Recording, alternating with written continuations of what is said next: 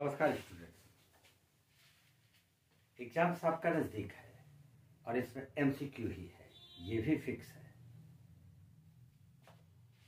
एक क्वेश्चन है जो कि फिजिक्स में मेरी आ, मेरा उम्मीद है कि ये क्वेश्चन डेफिनेटली आ जाए। आ जाएगा। और ये क्वेश्चन बहुत टेढ़ा नहीं है लेकिन स्टूडेंट को इसमें प्रॉब्लम है। रिफ्रैक्टिव इंडेक्स से रिलेटेड क्वेश्चन आज हम लोग एक छोटा सा ये वीडियो है, इसको देखिए बढ़िया से। एक टॉपिक है। Principle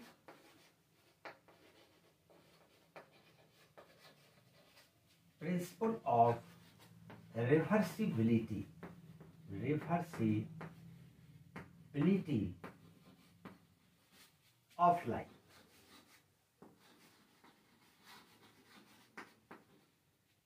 reversibility of life ये टॉपिक से क्वेश्चन न्यूमेरिकल आता है।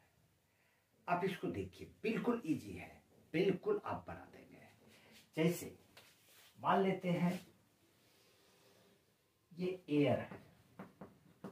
सपोज़ करते हैं कि ये एयर है। और इधर हम लोग मान लेते हैं, ये ग्लास है। रे ऑफ़ लाइट यहाँ पर से चलना शुरू किया और इस पॉइंट पे आके इंसिडेंस किया। एक नॉर्मल यहाँ पर डाल लेते हैं हम इस तरह से। चूँकि एयर रेयर मीडियम है और ग्लास डेंसर मीडियम है तो रेयर मीडियम से डेंसर मीडियम में जब लाइट ट्रेवल करेगा तो नॉर्मल के तरफ़ झुक जाएगा। तो इसका पाथ कुछ इस तरह से हो जाएगा। ठीक? अब, अगर ये क्लियर हो गया।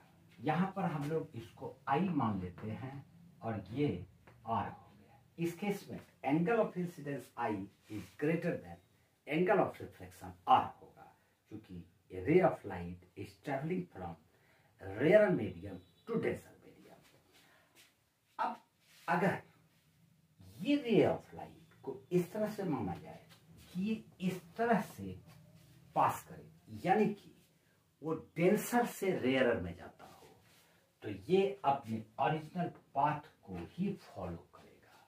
इसमें कोई चेंजिंग नहीं होता है। इसी को बोलते हैं principle of reversibility of light अब रिफ्रैक्टिव इंडेक्स का इससे क्या रिश्ता है?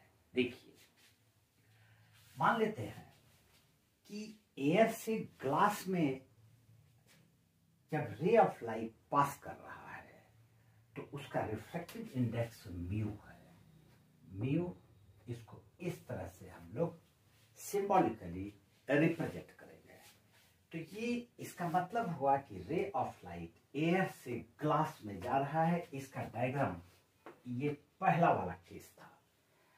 अब दूसरा वाला केस में क्या हो जाएगा? दूसरा वाला केस में हो जाएगा ग्लास से ये एयर में ये किस नंबर सेकेंड था, जब इधर से ये इधर जाएगा। तो इस दोनों का जो प्रोडक्ट होगा, यानी कि A mu G multiply G mu A यह हमेशा वन होगा। इसी को हम लोग principle of reversibility of light बोलते हैं। एक वीडियो मैंने इस पर बनाया है, आप उसको भी देख सकते हैं। और अगर किसी कंसेप्ट में आपको प्रॉब्लम हो तो कमेंट में लिखें। मैं फिर से बनाऊँगा। पच्चीस बार एक ही वीडियो बनाते रह जाऊँगा जब तक कि आप समझ नहीं जाइएगा। इस पर छोटा सा क्वेश्चन है। ये क्वेश्चन अक्सर आता है। आप उसको देखिए। पहले इसको जरा सा क्लियर कर लेते हैं। क्वेश्चन है the refractive index of light going from air to glass question को देखिए। एयर टू ग्लास जैसा अभी हम लोगों ने डायग्राम पर डिस्कस किया, वही क्वेश्चन है the reflective index of light going from air to glass air to glass का मतलब ए म्यू जी इसका मतलब यही हुआ कि ray of light is travelling from air to glass is 1.5 is equal to 1.5 ये 1.5 दिया हुआ है. Then we have to find the refractive index of light when it goes from glass to air. इसका मतलब glass to air का मतलब हो गया G mu A हमको फाइंड करना है। कोई प्रॉब्लम नहीं होगा अब आपको, क्योंकि प्रिंसिपल ऑफ़ रिवर्सिबिलिटी को अच्छी तरह जानने के बाद आप क्लियरली समझ गए होंगे कि हमको करना क्या है। By the principle of reversibility of light, we know that A mu G multiply G mu A is equal to one यहाँ पर A mu G हमको दिया हुआ है 1.5 1.5 इंटू ये वैल्यू फाइंड करना है इसको सिंपली म्यू मान लेते हैं कोई प्रॉब्लम नहीं है is equal to one therefore mu is equal to one by one point यहाँ पर टेन देके इसका डेसिमल रिमूव कर देते हैं।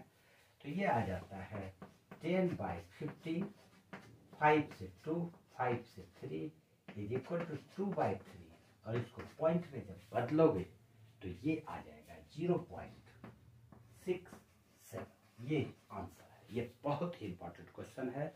और जो पेपर मेरे हाथ में आपने देखा, वो मैंने आज प्रिंट करवाया था। और उसमें से कुछ क्वेश्चन मैंने सेलेक्ट किया है मैं आपको नेक्स्ट वीडियो में बताऊँगा डेफिनेटली जो क्वेश्चन बताऊँगा श्योर शॉर्ट है आज इतना सही ठीक जय हिंद